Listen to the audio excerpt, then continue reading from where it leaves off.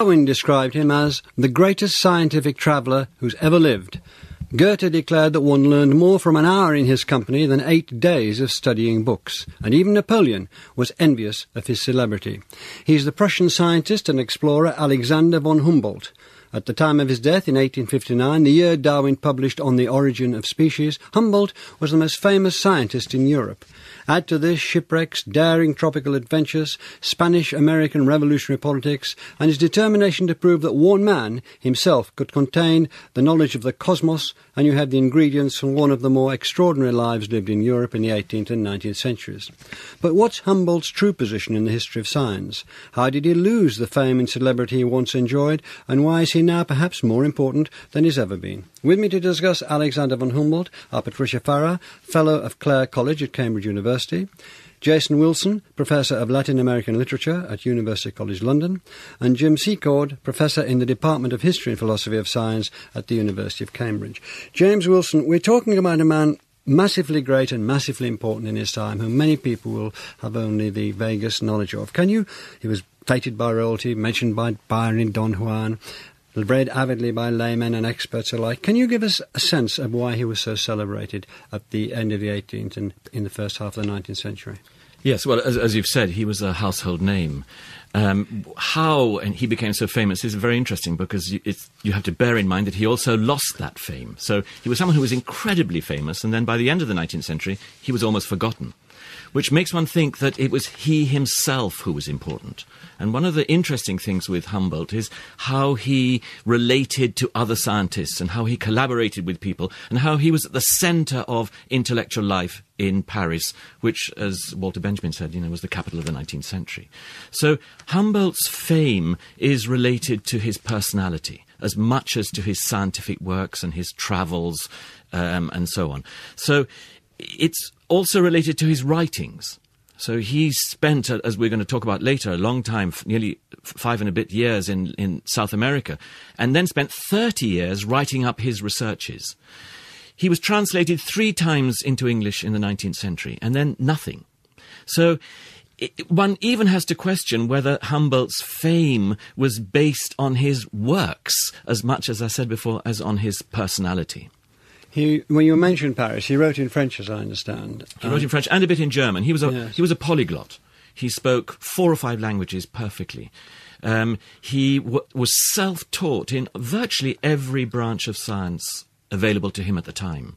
He, was genuinely a Renaissance man. In fact, someone in the Times Literary Supplement quipped he was the last man who knew everything. He was also a very fine artist and uh, drawer, and his plants and his, his maps and so on are, are, wonderful to look at. Absolutely. And wonderfully accurate. Absolutely. They're, they're beautiful. Not only the maps, but the, the, the, the maybe the, the key word that sums up his fame at the time is the mountain Chimborazo. And his drawing of Chimborazo, both as a visual representing the actual mountain in the Andes and his section of the mountain in terms of the plant geography are extraordinary achievements. You know, he'd be famous just for those alone, let alone his writing. Can you give us a little idea of his background? Uh, I mentioned in the introduction him being an aristocrat. Uh, he financed the uh, these great expeditions himself, uh, and his financial security, uh, financial security, let's, leave it at that, enabled him to go to as an apprentice to one great scholar after another uh, to learn from them. Um, can you tell us anything else about the background that might be useful? Well, he came from the Prussian nobility. He was the second son. His elder brother, Wilhelm, was equally famous as an educationalist and a as a linguist. linguist. Um, I suppose he was lucky, I say this uh, not ironically, that both his parents died fairly young and he inherited a massive amount of money. It allowed him to be free uh, and do what he wanted. Right from the beginning, Humboldt wanted to travel abroad. He hated home, he disliked his mother, supposedly he didn't shed a tear when she died. Um, and he's in a, in a private document which uh, was called Mes Confessions, My Confessions, along Rousseau lines, he, which he wrote on the top, don't publish. He actually said that his home life, he'd been outraged, he'd been abused at home. Now, what, what that means is that there was no love. Um, so he wanted to go abroad, and he, from the beginning, wanted to go to the tropics.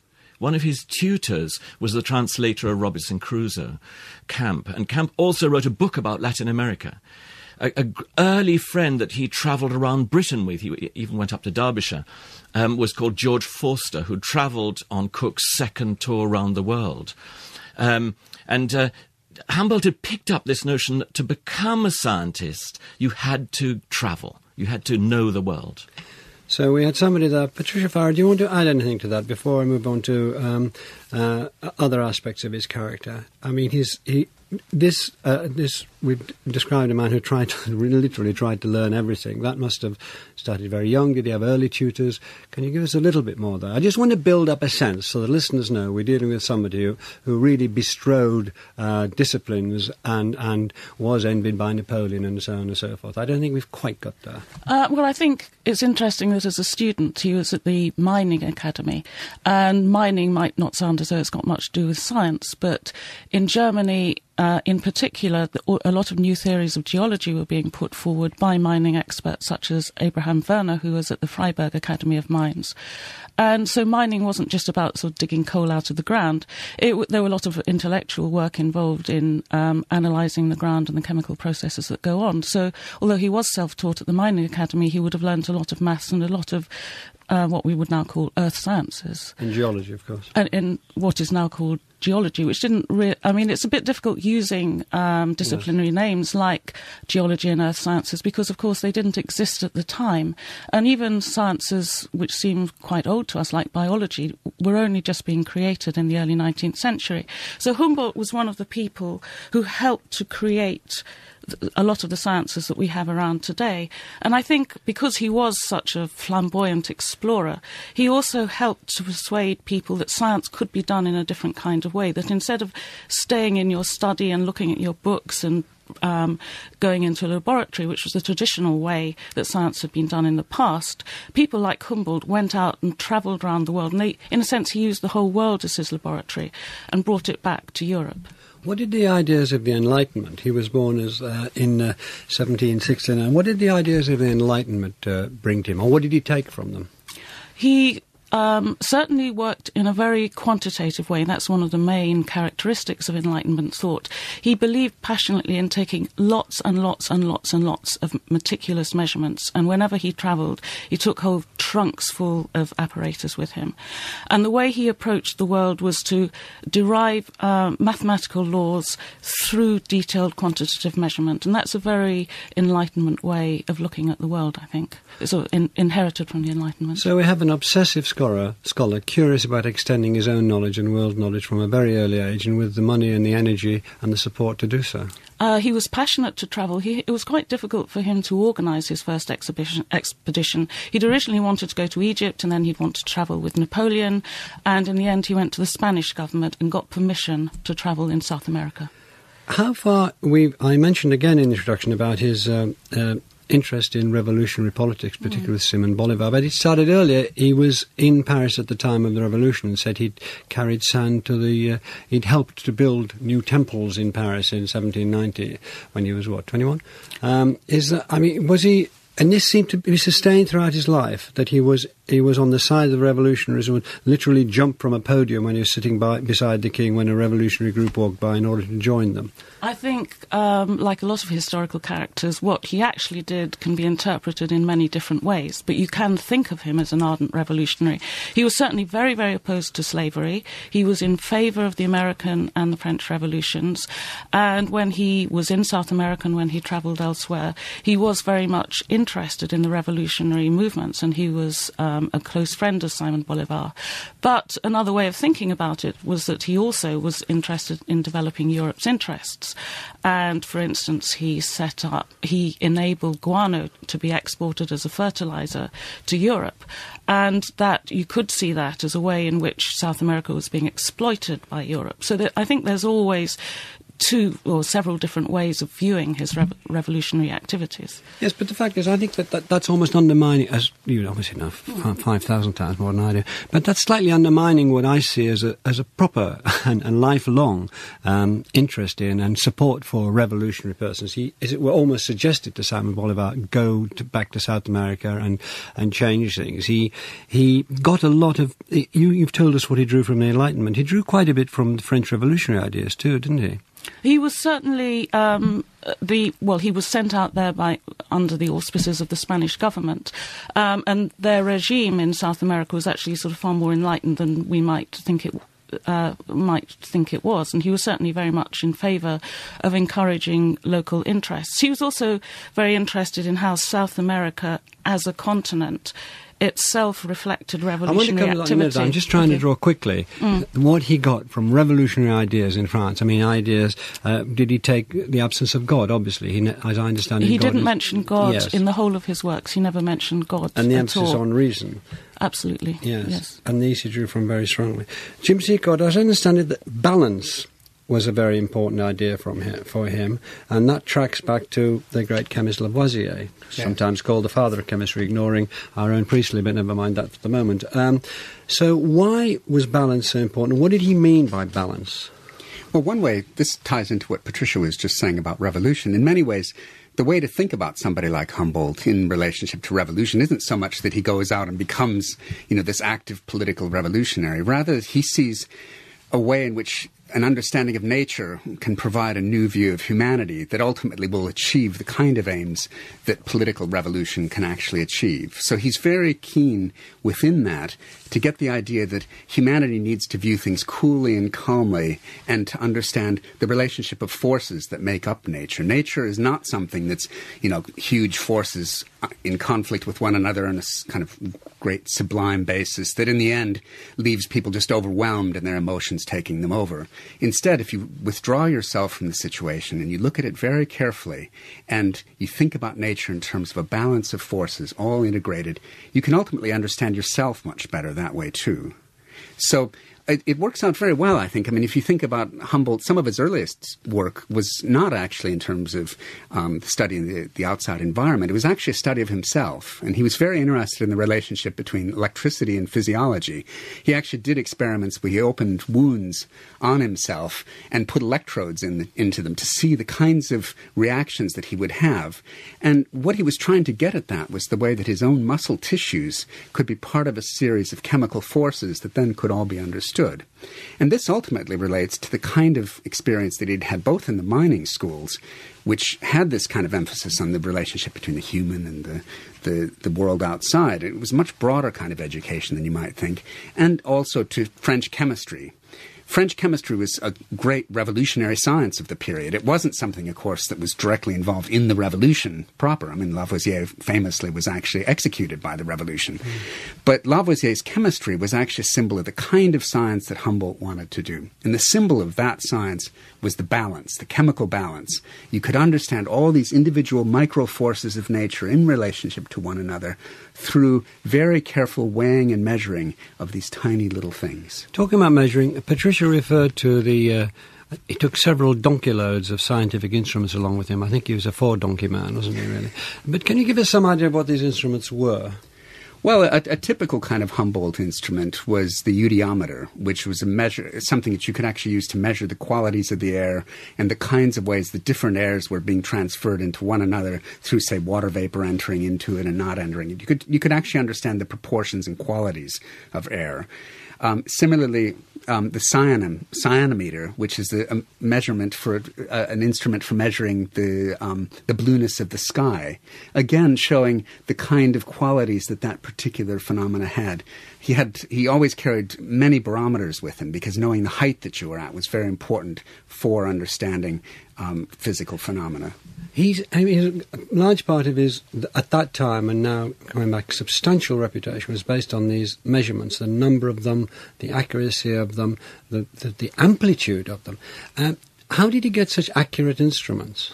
Well, French instrument making, especially during this period, was at a very advanced level. I mean, it was it was known throughout the world, and there had been great developments within instrument making. So there was a whole there was a series of technical workshops that someone like Humboldt could draw his instruments from and he used those kinds of resources. Um, it was ex- extremely important to him because it was exactly in the, the details of those measurements that things really counted. And he didn't just kind of gather them willy nilly like a collector. In fact, he was rather dismissive of just pure collectors. What he wanted to do was to combine these kind of measurements together in to show the underlying laws of nature. That was what was really crucial for him. So can we just sort of try to uh, bring uh, the, the, portrait in, in, this stage of, of the discussion to, to, an end here? Back to you, Jason Wilson. Interconnectedness seems to have been the central notion. What sort of connections, broadly, briefly, was he trying to make? I think the main connection was between organic and inorganic life and himself, that is, as a human being. So it was a, an attempt, and I think travel helped him uh, become a universalist. He saw the whole earth as one entity. And he was a materialist in this, in the sense that the, the basis of this was the actual earth, direct experience through the senses of the world, but measured constantly in all sorts of different ways. So, in, in that sense, I, I see him as, as a new kind of hero. Mm-hmm. I mean, part of bringing all these instruments on these sometimes 14 mules was preserving them from breaking. And it was not just instruments that he carried constantly with him, but books. He brought a library with him, and of course all the collections the dried plants, the skins, the bird skins, these were constantly brought with him. And as a sort of secret journey behind the actual journey, this is part of his reputation. How can somebody, just two people, with a retinue obviously, travel around for nearly five years, three months, without losing the instruments? And there is even the possibility that he didn't continue his journey onto the Philippines and around the world because his instruments stopped working so well, as Jim's been saying. I think another way of tying together the interconnect- interconnectedness and the revolutionary aspect of his thought is to see how he changed the world from being analysed historically to being analysed geographically. Because previously you could think of a division between the old world and the new world. It's a sort of vertical line down the middle of the Atlantic Ocean. And in a way, Humboldt was a new Columbus who went over to the new world and he went it down into South America. And for him, the division of the world wasn't that historical accident. It was a division round the equator. So he, he wanted to link the, he wanted to link the whole northern hemisphere and the whole southern hemisphere, which effectively divided the world in a different way. He's a man of many connections, isn't he? Because one thing we haven't even touched on yet, which was very much part of him, is at the same time he's coming out of the scientific enlightenment. Mm. At the same time, he is he's typifying uh, an emerging individualism, or it's been emerging for a while. But he's also um, he, a romantic with a capital R. I mean, mm. uh, a friend of, of, persons like Goethe, an influence, uh, a friend of Goethe, influence on Coleridge. Uh, how did the romantic idea of life fit into his uh, work as a generally known now as a scientist?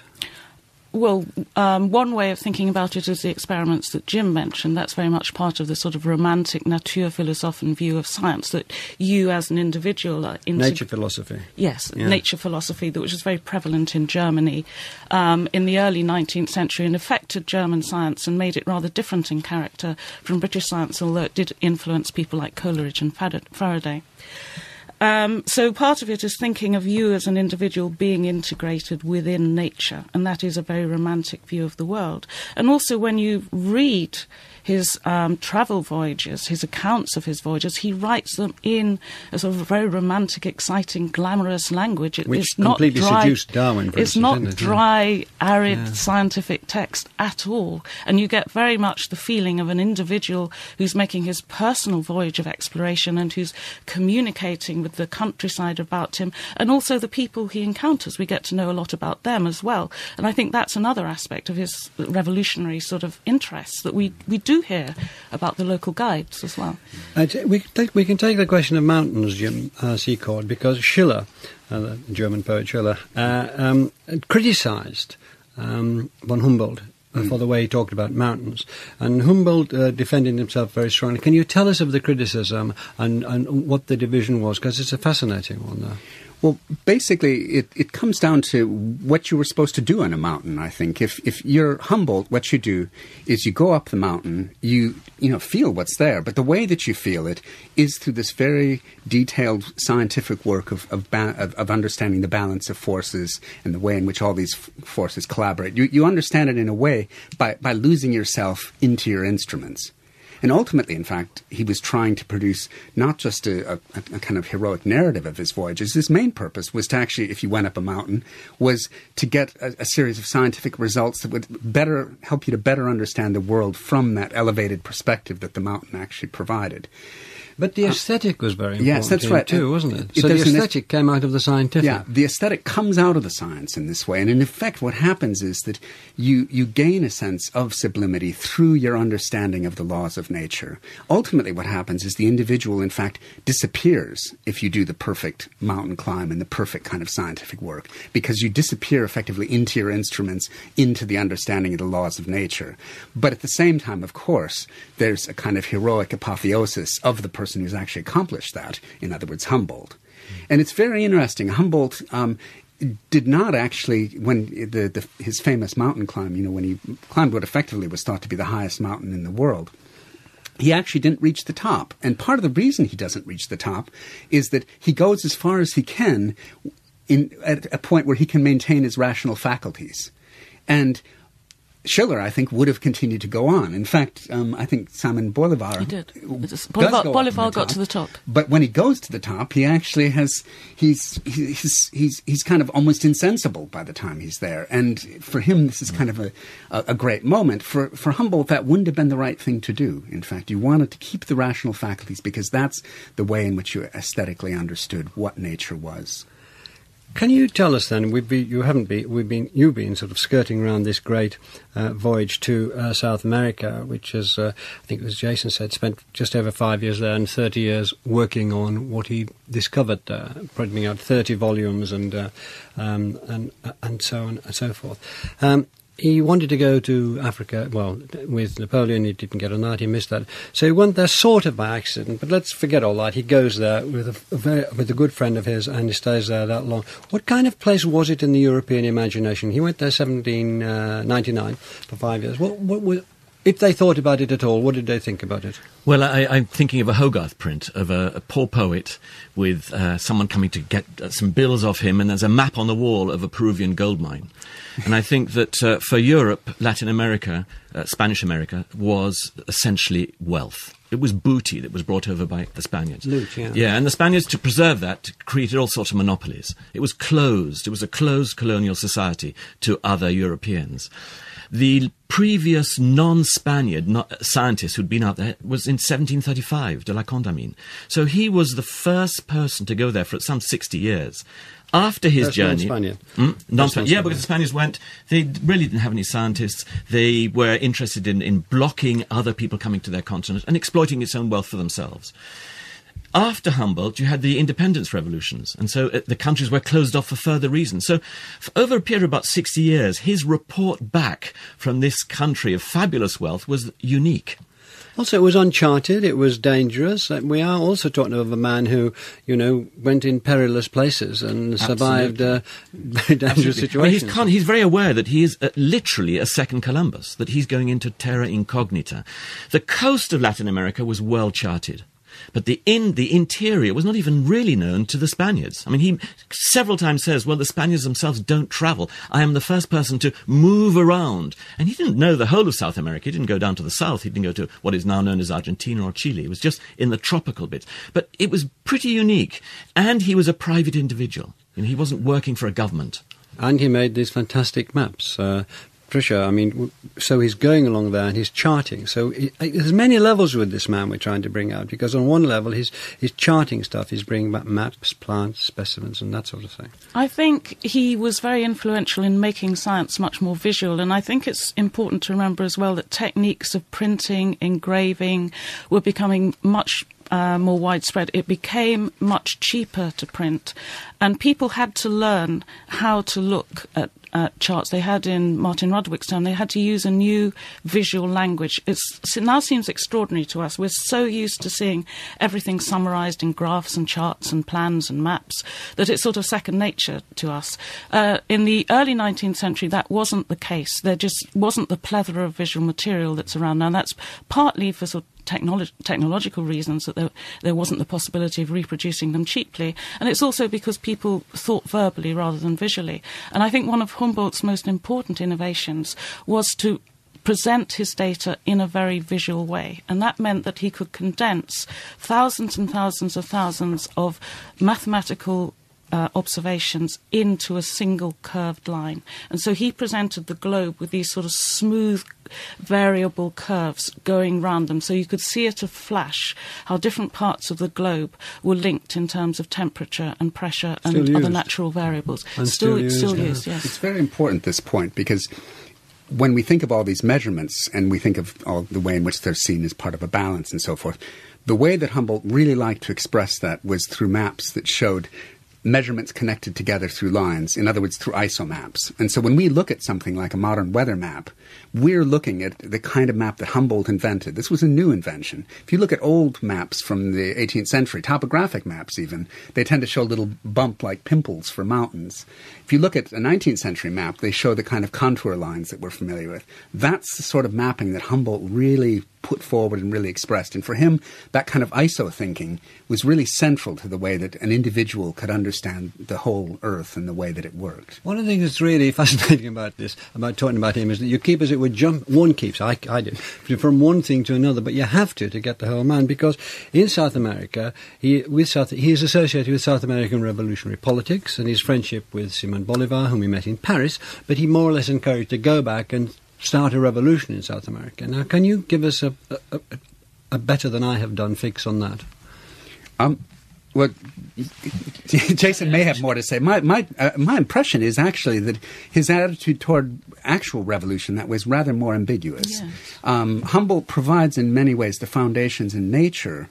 Um, for thinking that South America is really important, that there's a South American nature that really deserves a kind of place in the international sun. And that remains very important within South American polit- political life, in many ways, even now. But in terms of actual support for political revolution, uh, I think it's not so. Yes. I mean, I, I think the thing to bear in mind that he was there with a passport from the, the king.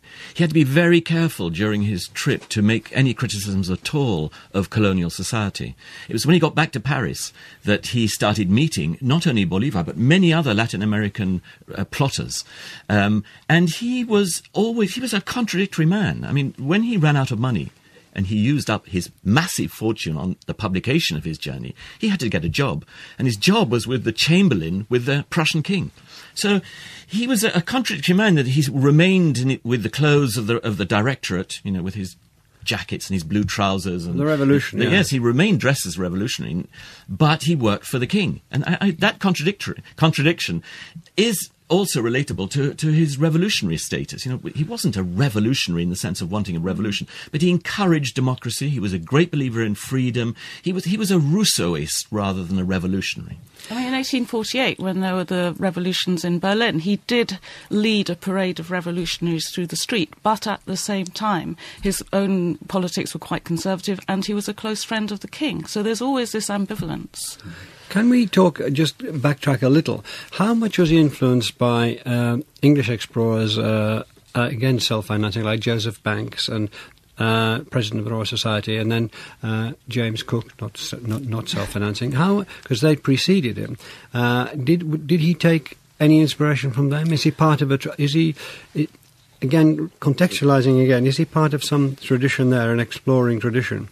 An intellectual I think tradition? it's. I think it's more that at the rather than seeing any direct influence, it's more that uh, Joseph Banks and Humboldt were both um, forerunners in this sort of general move towards making um, scientists able to travel in the outer world, of taking science out of the laboratory, out of the study, out of the library, and making the whole world your laboratory. And I think Banks and Humboldt are quite interesting comparisons because Banks was like Humboldt, um, self-financing, and, and then he came back and became a very um, important scientific administrator. Humboldt didn't do that, but on hi- on the other hand, his brother uh, set up the Humboldt Universität in Berlin, and so so in the, s- similarly, Humboldt was himself quite closely allied with German university organisation. So I think they have quite sort of parallel sort of lives. And if, if you think about um, Frankenstein, which uh, first came out in 1817, the outer sort of layer of Frankenstein has got an explorer who goes off to the North Pole to um, to search for the secret of magnetism. So you can see sort of uh, romantic characters like Banks and Humboldt as, as being sort of role models for that in a way. The, sorry, I just Jason. had something about that. Yes. That uh, Humboldt was very friendly with George Forster, right. who travelled on Cook's second journey. That's true. Uh, even the way he wrote, even the way Humboldt wrote, even the titles of his books imitate Forster. So he was a great role model. He was some 10 years older. It, also revolutionary. He actually stood for Mayence. He was actually and, and died as a, a French revolutionary, um, Jacobin. So that was very important also for Humboldt's formation. You've mentioned it's very difficult to, to particularize here, but we can, let's try to do it now. The climbing of this mountain, Chimborazo. Chimborazo. Thank you. Uh, now, and, and the map he drew of that and why that was important, then thought to be the highest mountain in the world, um, and so on. You've said he didn't quite get the top. What did just let's develop that a little bit to see, uh, just to tell people what was really important about that, why this, and what he described of this and drew of this you'll keep you keep returning to. Yes, I think this is part of the uh, of a romantic notion of uh, after all mountains became important. We, we, we know this in the in the 19th century. The climbing of the mountain, the view from the top, and the view is often a vision. You know, I, I, don't want to correct, correct, correct my colleagues, but Simon Bolivar actually didn't climb Chimborazo. He wrote about climbing it. it. To climb it in his mind was sufficient. It wasn't actually climbed until 1880 like feel like by Edward sometimes Whymper. So the first person to get to the top of Chimborazo was 70 years later. Um, well, that's so I'm glad to know that. Te- there's a lot of books that need correcting in that case. yeah, absolutely, no, that's very interesting. So. Mm. Simon Bolivar needed to think that he had attained what Humboldt had almost done in order to give himself some sort of inner power. Yeah, but let's talk about Uh, because we're, we're moving into the last third of this program, I just want some detail about this mountain. Chimborazo, okay, we, we know at that time people thought it was the highest mountain in the world. It was a mm. mountain you could see from the sea. Yeah. So it, it, was a mountain that many people had seen. very steep, it's volcanic, it's conical, it's very beautiful. So the, the, the climbing of it was not just a, a, an attempt to take all the measurements to see what happens to oxygen, to see etc. etc. But it was also a symbolic uh, attainment. Uh, an attainment of getting to the very top. One can almost think you're getting almost close to God without that word ever being mentioned. There was something about arriving at the top of this that gave people this view, and I call it a vision. Jim, can you take, tell us what he did with this mountain when he drew it? Well, this illustration, for one thing, is huge. It's as large as a big kitchen table. And you fold it out, and there's a beautiful picture of the mountain. But the most interesting things about it, in many ways, are the words on it. Because on it, you can see you know, all sorts of plants, animals, the, the names of them all shown as you're going up. And it, what he's interested in, in fact, is as you go up the mountain and as you have that aesthetic experience, you also are going to see and know these various plants and animals. And of course, those change as the altitude changes. And all those measurements he had done then goes to show, and the collections he had made goes to show how those things are related on the sides of the map, there's further information about what you see at the different heights as you go up the mountain. So, in the end, all the information about you know that particular climb, it isn't just the, the actual experience of the climb that matters. It's it's the way that all those different phenomena that are recorded in the words on the, the, the visual document are all present. And you sit and look at that whole thing, and you have the Humboldtian experience of being on that high mountain peak and looking over the whole thing. And that's the aesthetic experience that he's trying to recreate. It's that combination which uh, ensnared a young Charles Darwin who read Humboldt and was, was, was very moved and, ins- well, I've used the word inspired, inspired to do, to go forth and do likewise, isn't it? I mean, how much does the uh, uh, On Origin of Species owe to Humboldt as in, it, in its writing? Well, I, I think it owes a great deal in many ways. I mean, for one thing, just the fact that Darwin went on the Beagle voyage is in many ways an outcome of the fact that he had read Humboldt. Darwin had been really enamored of the whole Humboldtian kind of personal narrative, and he wanted to have an experience like that. So even before he was offered the chance of going in the Beagle voyage, Darwin was going to go on a voyage like that himself and do that same sort of thing within the origin of species, a lot of these kinds of aesthetic experiences come across as well. They're, they're very famously expressed in the famous passage about the tangled bank, where Darwin compares nature to a tangled bank that you can see and all the interconnectedness that's present there. Um, and I think that interconnectedness of nature and the different ways that one organism relates to another organisms, that organisms have particular niches, that um, you find certain types of animals at certain types of places and not others, which is so fundamental to understanding the kind of view of um, nature that's in the origin of species, that's really very hard to imagine without Humboldt being present in, in, in Darwin's imagination. Would you like to develop that, Jason? Yes, I, I, think that maybe the big difference at that moment in time was that Humboldt remained, his, his theories remained that uh, harmonious, that nature was this very delicate balance that included his own subjectivity. With, with Darwin, you got a, uh, under the tangled bank metaphor, you got uh, a sense of war, uh, and a war that was so ferocious that individuals, people like Darwin himself, were horrified at this constant killing and death. This is not in Humboldt. Mm-hmm. And it's interesting that difference, and it could explain why Humboldt was, as it were, nudged off the, the centre playing field of science at the second half of the 19th century. That he didn't, his work didn't lead to this notion of this terrible war going on behind the surface of things. And that it does seem to be it's curious, isn't it? Uh, uh, Humboldt dies in 1859, uh, just after, just before, just before Darwin's book comes out. But Darwin's book does seem to, as Jason says, dislodge him, Patricia Fara.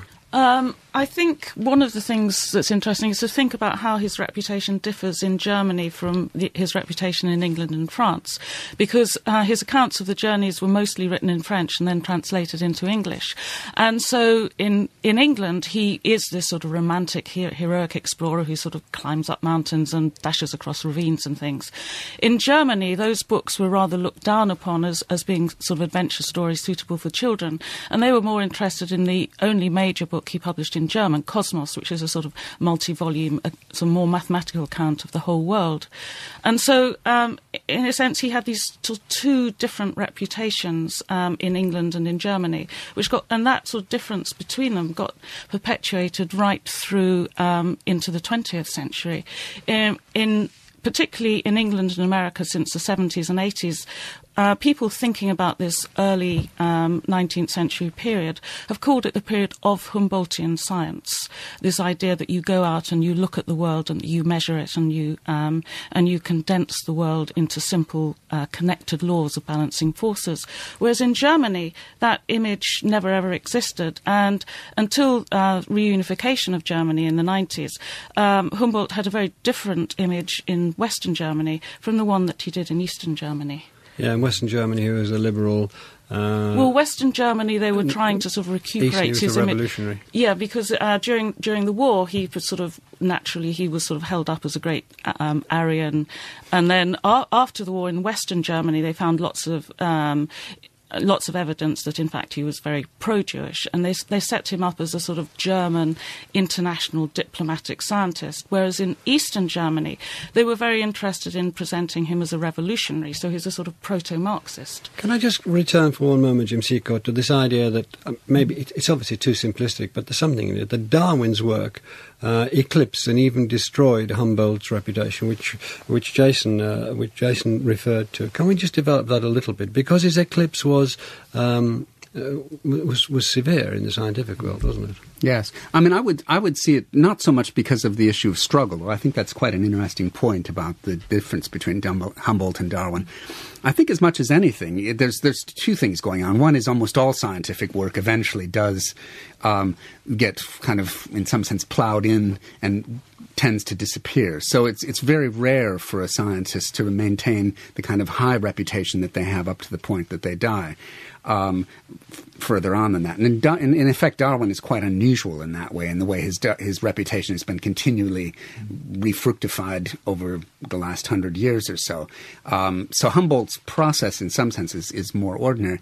I, I think that um, there is a kind of way in which in the very late 19th century, there is quite a lot of interest in Humboldt, but gradually, I think, especially, I think, as um, nationalistic tensions rise in Europe in the late 19th and early 20th centuries, then I think some of the internationalism that Humboldt represented comes to seem a bit old fashioned or not quite the sort of um, not not quite representing the sort of way forward for a lot of people. And of course, in, in this country, especially after the First World War, um, I think that you know anything that's identified so specifically as being Prussian isn't going to you know maintain that kind of reputation.